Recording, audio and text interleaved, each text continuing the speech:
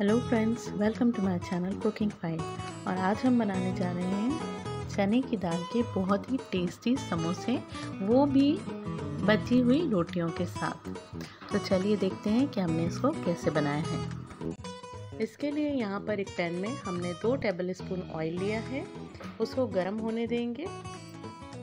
और इसमें ऐड करेंगे हम दो से तीन मीडियम साइज़ के ऑनियन, जो कि हमने ऑमलेट कट काट के रखे हैं। और इसको हम सौते करेंगे। हमें इसको ब्राउन नहीं करना है, हल्का सा जो ट्रांसपेरेंट होता है, बस उतना ही हो जाएगा। तो हम इसमें ऐड कर देंगे दो से तीन हरी मिर्च और इसको एक से दो बार चला के हम इसमें डालेंगे आधा कप के करीब चने की दाल, जिसको हमने एक दो घंटे भिगा दिया था और इसको हमने बॉईल कर लिया है। तो इसको भी हम फ्राई कर लेंगे। इसमें जो भी मॉइस्चर हो, वो उड़ जाए और ये सारा प्रोसेस हम हाई फ्लेम पे ही कर रहे हैं। अब हम इसमें हमारे कुछ मसाले ऐड करेंगे। एक चम्मच नमक डाला है, आधा चम्मच मिर्च पाउडर डाला है, वन फोर टीस्पून हमने इसमें हल्दी पाउडर डाला है, एक चम्मच गरम मसाला, आधा चम्मच अमचूर पाउडर और ये एक से सवा चम्मच हमने कुटा हुआ धनिया लिया है और आधा चम्मच हमने इसमें सौंफ ऐड करी है। तो इन सब मसालों को हम अच्छे से मिक्स कर लेंगे ताकि ये दाल और प्याज में सब में अच्छे से मिक्स हो जाए। इसके बाद मैं इसमें ऐड कर रही हूँ कोरिएंडर ये कम से कम वन फोर्थ कप के करीब है और दो से तीन पिंच समझ लीजिए या एक से एक डेढ़ चम्मच के करीब पुदीना लिया है, सूखा पुदीना जो कि हमने क्रश करके इसमें डाल दिया है। तो यहाँ पर ये हमारी फिलिंग तैयार हो चुकी है। अब हम इसे ठंडा कर, अब हम बनाएँगे एक स्लरी जिससे हम जो समोसे रहेंगे, उनको चिपकाएँगे। तो इसके लिए यहाँ पर मैंने एक टीस्पून आटा लिया है और एक से दो टीस्पून हमने इसमें पानी ऐड किया है। आप इसमें मैदा भी ऐड कर सकते हैं और आटा भी ले सकते हैं, आपके ऊपर डिपेंड करता है। अब ये देखिए, हमारी जो बची हुई रोटियाँ हैं, लेकिन ये रोटियाँ होटल की हैं। तो ये जो रोटियाँ हैं, हम इनसे ही समोसे बनाने वाले हैं। तो हम इनको कट कर लेंगे तो आप देख लेंगे इनका स्टाइल कि हमने इसको कैसे कट किया है।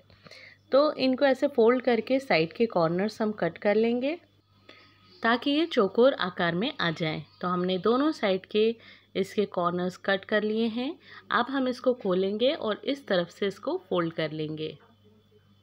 इस तरफ़ से भी हम थोड़ा थोड़ा इनको कट कर लेंगे।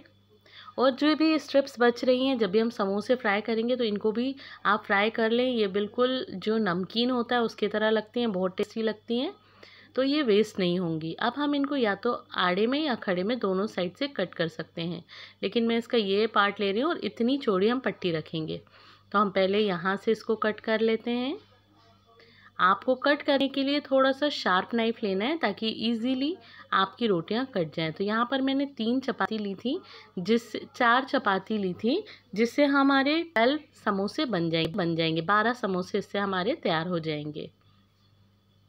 तो अब हम इससे समोसा बनाना स्टार्ट करेंगे। तो एक पट्टी लेकर हम इसका पहले ऐसे कॉर्नर घुमाएँगे, ऐसे करेंगे और इसको बस फोल्ड करते जाएँगे इस तरह से और बीच में हम फिलिंग कर देंगे। तो ये आप स्लरी जहाँ जहाँ चाहे चिपका सकते हैं ताकि ये हमारे अच्छे से बाइंडिंग हो जाए और हमारे समोसे तलते टाइम खुले ना। तो हम इसमें पहले फिलिंग भर लेंगे। तो दो चम्मच के करीब या डेढ़ चम्मच के करीब आपको जितना भी कंफर्टेबल लगे, आप उतनी फिलिंग भर सकते हैं।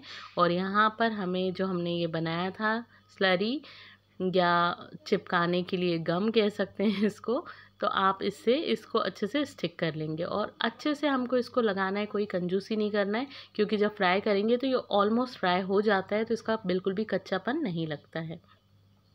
हम चम्मच से लगा देते हैं अच्छे से और इसको एक बार में अच्छे से चिपका देंगे। तो जहाँ से भी हमें कॉर्नर्स खुले हुए लग रहे हैं, हम वहाँ पर ये ले या स्लरी हम इसको लगा के अच्छे से चिपका देंगे और ये हमारा समोसा बन तैयार हो गया है। इसी तरह से हम सारे समोसे बना लेंगे। ये देखिए, आप ऐसे नीचे रख के भी इसको फोल्ड कर सकते हैं। इजीली बन जाते हैं, कोई मुश्किल नहीं आती इसमें बनाने में और इसमें हम फिलिंग करेंगे, वापस से इसको चिपकाएँगे। आई होप कि आपको ये समझ में आ गया होगा कि आपको ये कैसे बनाने ये देखिए, इसको इस तरह से चिपका देंगे। ये थोड़ी सी पतली हो गई है। दूसरी मैंने जो बनाई थी, वो थोड़ी थिक बनाई थी। इसमें पानी थोड़ा सा ज़्यादा हो गया है तो आप उसमें आटा ला लें, ठीक है? कोई दिक्कत नहीं, इससे भी वैसे मेरे समोसे खुले नहीं हैं। तो इस तरह से हमने सारे समोसे तैयार कर लिए हैं। अब आएँगे हम अपने फ्राइंग प्रोसेस। तो यहाँ पर हमने ऑयल गर्म करके रख लिया था। अब हम इसमें तीन से चार समोसे एक बार में डालेंगे। बहुत ज़्यादा भी नहीं डालना है। कि हम हैंडल ना कर पाएँ? और अगर आपके पास बहुत बड़ा पैन या बड़ी कढ़ाई हो तो आप उसमें इकट्ठे चल सकते हैं। इसको फ्राई होने में बहुत ज़्यादा टाइम नहीं लगता है। तीन से चार मिनट में ही ये अच्छे से फ्राई हो जाते हैं। बस आप जब भी निकालें तो ये चेक कर लें कि अच्छे से क्रिस्पी हो चुके हैं या नहीं। बहुत जल्दी फ्राई हो जाते हैं तो इसी तरह से हम सारे समोसे तल के निकाल लेंगे। तो बन के तैयार हैं हमारे चने की दाल के समोसे। उम्मीद करती हूँ कि आपको ये रेसिपी ज़रूर पसंद आई हो और एक बार आप इसको ज़रूर बना के देखिए।